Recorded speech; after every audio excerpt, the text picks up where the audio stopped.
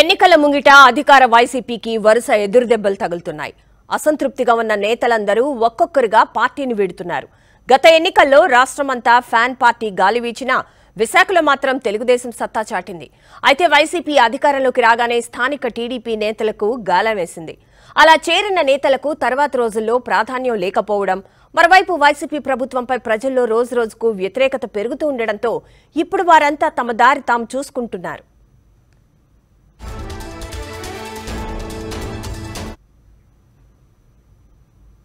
విశాఖ జిల్లా వైసీపీ అధ్యక్షుడు పంచకర్ల రమేష్ బాబు పార్టీకి రాజీనామా చేశారు. రానున్న ఎన్నికల్లో పెందుర్తి టికెట్ ఆశిస్తున్న ఆయనకు వచ్చే సూచనలు కనిపించకపోవడంతో పార్టీని వీడాలని డిసైడ్ అయ్యారు. పార్టీ విధానాలపై అసంతృప్తికి తోడు పెద్దగా ప్రాధాన్యం లేకపోవడంతోనే రాజీనామా నిర్ణయం తీసుకున్నట్లు తెలుస్తోంది. విశాఖ జిల్లా వైసీపీలో కొందరు నాయకులు పెత్తనం చేస్తున్నారని తన నిర్ణయాలకు విలువ ఇవ్వడం లేదని పంచకర్ల రమేష్ బాబు బహిరంగంగా అసంతృప్తిని వెళ్ళగక్కారు. రెండు క్లారిటీల్లో ఒకటైతే ఇప్పుడే మీకు ఇస్తా ఉన్నా.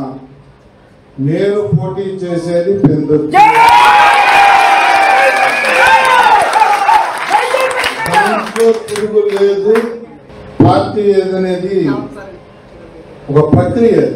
వాళ్ళు నన్ను పిలవటమో లేకపోతే నేను వాళ్ళ దగ్గరికి వెళ్ళటమో వాళ్ళ భావాలు నాకు నచ్చి నా భావాలు వాళ్ళకు నచ్చి ఇవన్నీ కూడా మాట్లాడుకున్న తర్వాత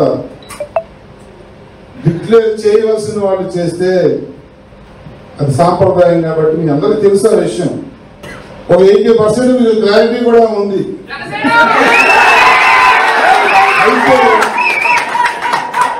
అయితే అది సెంట్రోలో పోస్తే కానీ తీర్థం అవ్వదు